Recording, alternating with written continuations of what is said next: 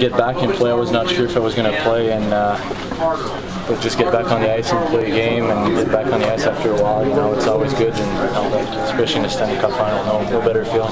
What was the adjustment like? I mean, being out that long, coming back on this stage. Uh, you know what? It, you know, until you play a game, it's hard to know. But uh, we did a lot of uh, work after practice with the coaches. You know, try to uh, work on a lot of things that uh, pretty much similar to a game, but you know, until you get there, you know, you never know. But uh, you know, after the first shift, you know, I, I, you know, it's the speed of the game. I think you don't have it in practice, and it's pretty pretty uh, high level speed out there. And uh, but after a couple of shifts, I felt pretty good. You know, I try to keep it simple, and uh, and uh, you know, at the end, you know, the, the, the win by us, it's uh, it's even better better feeling. When did you find out you were going in? a little bit. You know what, coach told me to get ready after game two. You know, after we won the game in Jersey, uh, when Carter scored, I was. Uh, uh, he came right away, see me, said, "Get ready, get ready for our next game." And uh, and after that, I didn't talk to him uh, until uh, this morning. And this morning, he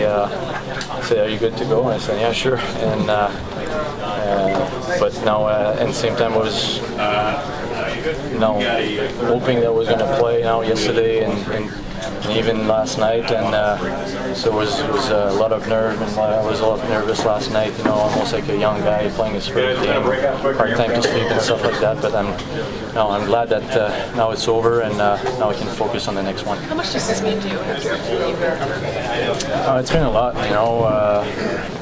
Everything happened for a reason. You could say that, you know. Uh, it was a long process. Um, injury that I had, no, I had a I had a chance to go through. it. it's maybe bad to say that, but uh, learned a lot from it. And uh, you know, whatever, know, the doctors here, the trainer, all the people helped me outside of, uh, of the team to uh, bring me back to 100%. You know, and I have to say 100%, not 95%. I was maybe 95% two months ago, but that was not good enough for, for me and the doctor and the teams. And, and uh, something that maybe in the past, uh, you know, 95%, you know, I was going to go back and play, and, and you never know what can happen after that. But now I'm, I feel pretty good, and it's mean a lot. You know, uh, we're in the Stanley Cup final, and uh, you know, I was I had a chance to be there before. I know it's, it's tough to get there, and uh, and having the chance to get back at it, uh, you know, I'm, I'm really thankful uh, for that.